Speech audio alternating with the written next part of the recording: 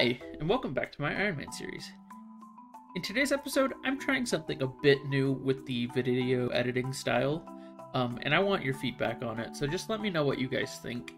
So, I am trying to do some more like showing what I'm doing rather than being like, hey, I did this and this was the rewards I got and showing the rewards. I'm actually showing me like doing the thing and then showing the rewards. I don't know if I like it better. I think I might, but let me know what you guys think because you guys don't like it, then I won't do it anymore. But anyway, though, thank you so much for clicking on this video and I hope you enjoy. One thing I need to do soon is take these out and then combine them. I have the three and they combine into one of my best crystals. So I think that'd be a good thing to do. On screen right now, there should be the recipe for the crystal extraction tool. It shouldn't, it's not that hard to get, honestly. Just some magical shards and your iron crystals. I have plenty of iron to do that. It's more of the metal solvent that I need to go make more of. Melting these, I'm to need to make some metal solvents and stuff, but I should have everything for that. I don't think it should be a problem. But I'm to melt down all my iron ore first, so and turn it into bars. So this is to take a while.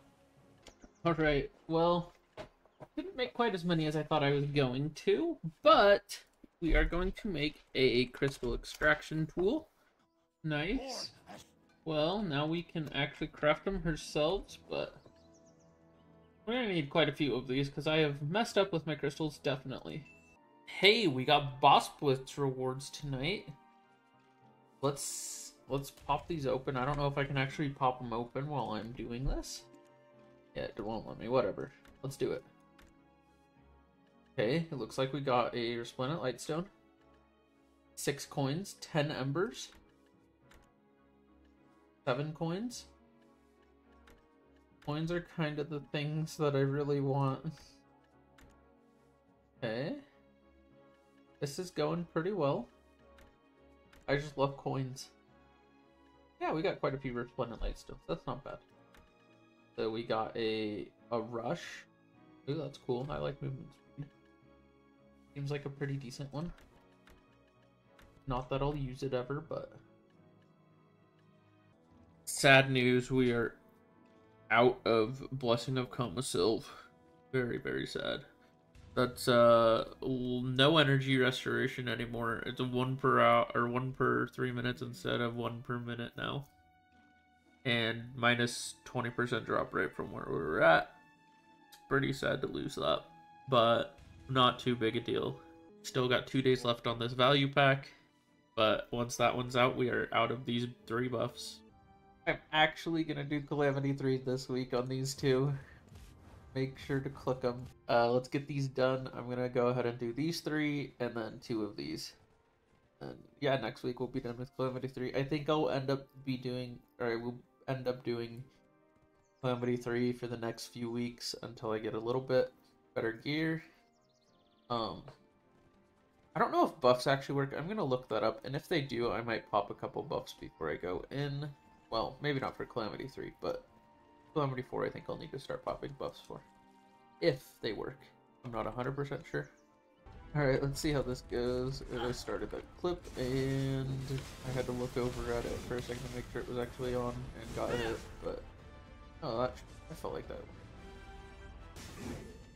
Hey, we did it! I actually wasn't really expecting that to go that well. Let's go. Okay. We, we have Calamity 3 done. Let's go ahead and get these other ones done.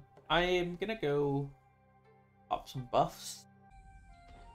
Alright, as you can see, I got a church buff, I got camp buff, and then I popped both of these. I could pop a food buff, actually. I don't know if I actually have one that has attack. Eh, yeah, let's just pop a syringe. Cool. So we're all buffed up. Not with the best buffs, but... Well, some of them are, but not the food buff. But that's okay. So we should be able to clear this pretty fast this time, actually. So. Your abduction too now belongs to me.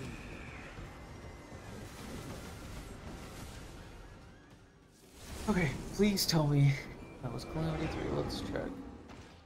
Yes, it was. Good.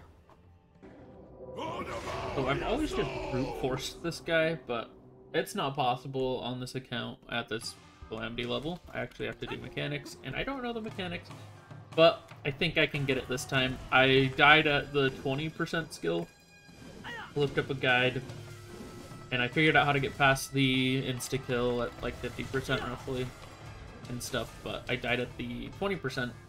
Um, I just needed to forward guard it, and I didn't realize I was trying to run away from it because it was like a circle that pulls you in. I was like, oh, I probably need to run away from it, but apparently you need to forward guard it, so I should be able to kill it this time. And from now on, I shouldn't have a problem with this guy, now that I understand the mechanics. So, unless I just die to something stupid, which is very possible. Still can't figure out which abilities to use to actually break him out of that uh, thing that he does. The way that I just have been avoiding it is I've just been using emergency escape to break out or to not get hit. Um, I think after this I'll try to look into it, but like, I'm not sure.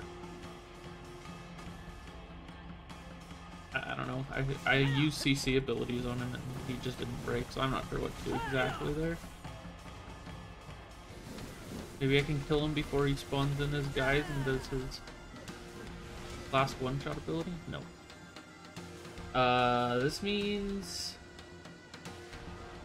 I need to kill these guys, and then I need to do a forward guard, so I...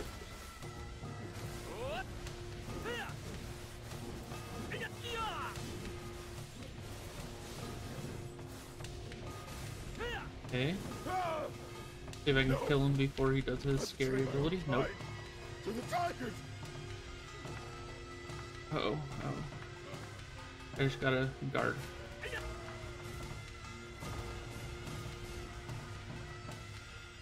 Okay. It's done. We did it. Oh, I did it. That was kind of difficult, actually. Now we gotta... So that's all Calamity 3 done for Sun Aura. So we're heading over to Earth Aura. Yeah, I'm having a hard time with this. I've, I've done Calamity 4 on a lot of these bosses, and they were not even as hard as this, so I think gear really doesn't matter. Like, people tell me the gear doesn't matter, but I can feel it. I can totally feel it.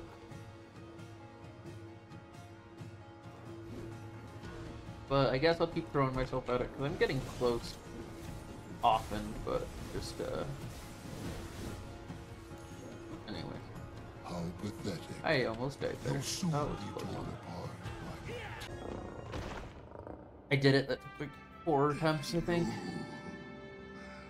Yeah, Calamity 4, I think I should be able to do it on like Bamboo Legion. And maybe like Bari and Sungakshi, those ones are somewhat easier, I guess. Maybe not Sungakshi, but Bari and Bamboo for sure. I feel like they're the easiest. But I don't think I'm going to be able to do Calamity 5 anytime too soon. The mechanics on this fight are so unintuitive. This isn't a hard fight, it just has some the the purifying the aura stuff. It's, it's so unintuitive. You have to stand in like bad stuff. So, but I think I understand the Earth and the Moon aura now. Shouldn't be too hard. I, I think the Sun Orb one looked really easy.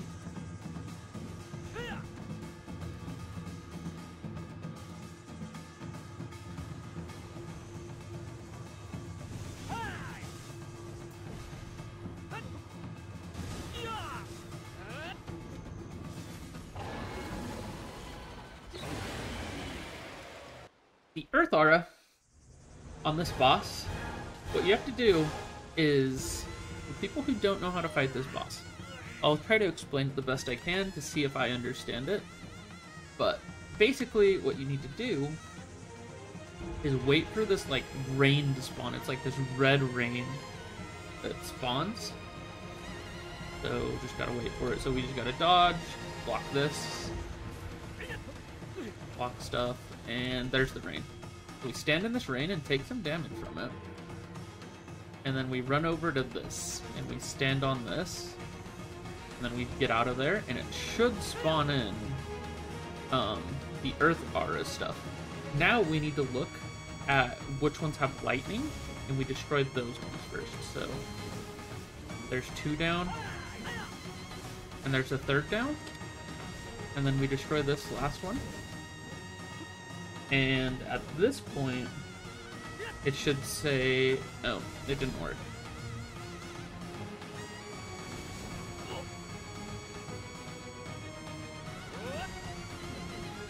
Okay. Uh, I wasn't fast enough because I got knocked over. That sucks. It says so yeah, same thing again. Destroy all the ones with the lightning effect. I think that's all three of these. Then it should say a mysterious energy can be felt in the surroundings, and I think we did it. Sick.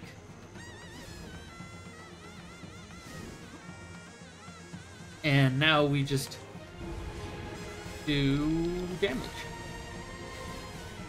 Okay.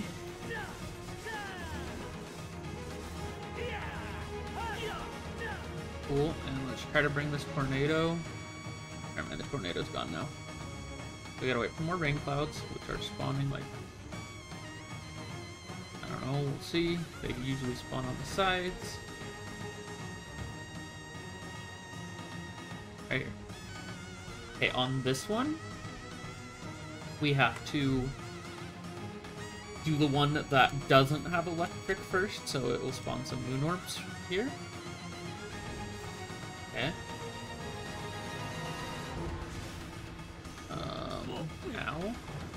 So we have to do the one without lightning. So this one. And then this one.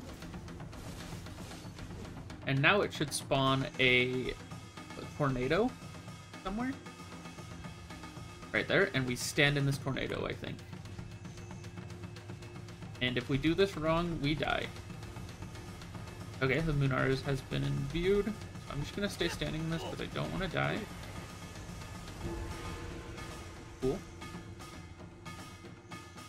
So now we have more damage phase here.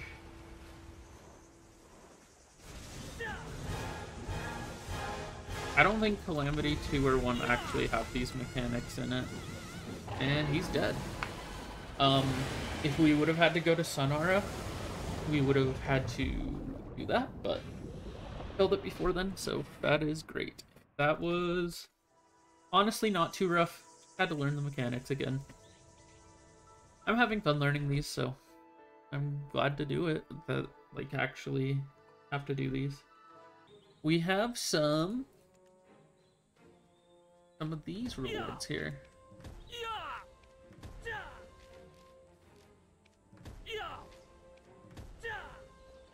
Five bags. Let's open up the Boss Blitz rewards now. Okay. 10 points from that. That's pretty good. Another 10. really caring about these coins. I would love to get some Girins, though. But coins are great. That is pretty good. Got like 50 coins. And one very cool thing. I don't know if I showed this yesterday, but I can make my Flame of Hongik now. So, I was trying to get my Red Nose armor to pen, but this is going to be the first pen. Once we get this to Tet, we're going for this. And the amount of Caphras stones I have is 1700 plus we have almost 12,000 and 12,000 would give me it's divided by 5 so that's like 2200 or something like that so we actually have like 4,000 which will get me to Caphras level 7 probably 6 7 so that would be cool but gotta get to pen first because I'm pretty sure Caphras levels go down if you fail attempts so we will not be doing that until Woods pen and we'll be able to get the Dahn's gloves pretty fairly easily. It's just gonna be quite a while till I get this Tet Black Star. But once we get this Tet Black Star, um, we'll start working on armor again. Well, at least that piece. And I think, assuming we don't aren't able to go to like Jade Starlight or the other flame places, I think we'll go for the uh Pen Black Star after that. And like or maybe pen Kutum as well, and start Caphrassing up that Kutum because Kutum is the best Although I'm not sure.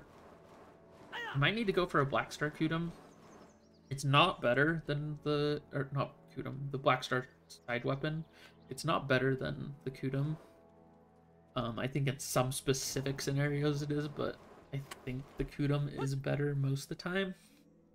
But they are going to release the Fallen God weapons, and I'm not sure if they're doing the sub weapon yet. But if they are, and they don't allow you to use Kutum, and you have to use Black Star, that might be the case. So I'm a little bit apprehensive on Capricing it, because I don't want to Capper something that isn't going to be able to be upgraded. I guess I'll wait. It's going to be a while till we get there, so hopefully we'll have more information by then about the um black or about the fallen god weapons. Anyway, though, um, that was a good session. I learned a lot about those bosses. I feel really good about that. I should be able to one-shot them on Calamity 4 once I have the gear to do it. Because now that I understand how to do them, it won't be nearly as hard. Oh, got my first Tungrad earring. Let's go. This has been, I've had a couple scary moments here so far. Um, this is definitely a sweat place for me right now. Like, scary, but it's it's good. It, they die quickly. This is a fun spot. I'm having a lot of fun with it, but it's definitely a place that'll only go when I'm like wanting to full focus because it could be deadly and I could lose some really good crystals. So. So this has been a very fun test hour. I'm having so much fun doing this, but it is still currently better money to do Crescents or Centaurus just because I'm not... Like, these guys do take a little while to kill.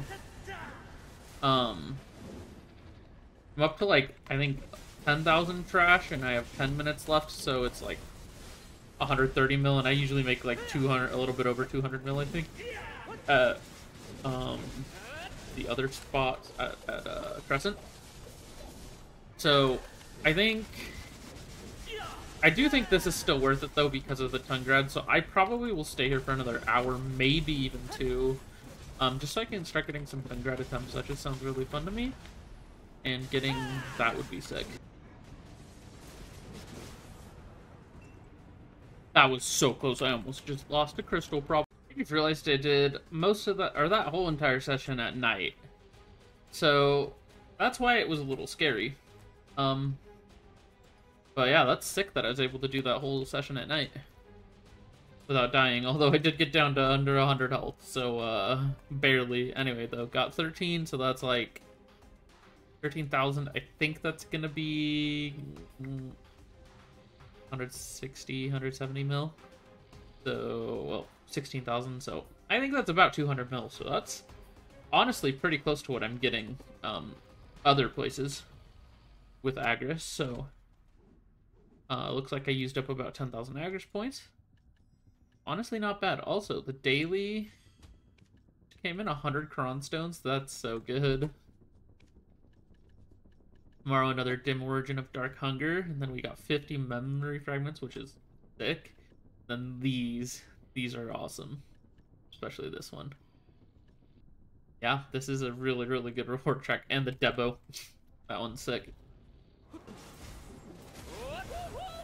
Yes, got another Tungrad. That's so sick.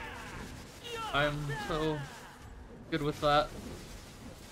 Immediately we're bumping that up to uh, duo if we get another one. Oh, sick. Got a third Tungrad. Um, we'll be cron attempting this, so we can probably get a duo.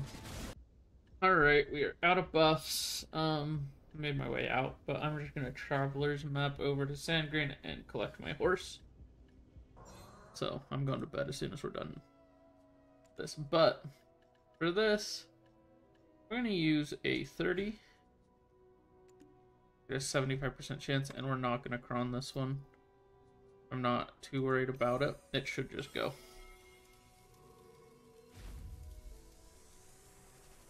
Yeah, I figured. Okay. And then we'll use a 40. That's a 50% chance. So I'm thinking we just send it no crons. If it goes, it goes. and it failed. That's too bad. Thank you so much for watching. Again, let me know in the comments what you think about the new editing style. If you like it, then I will probably keep doing it. If not, then we can go back to how it was before where I'm just showing like the results of my clips rather than showing like the whole entire process. Again though, I don't know which one I like better, so you guys have to let me know. Um anyway though, if you enjoyed, don't forget to leave a like and subscribe so you don't miss the next one.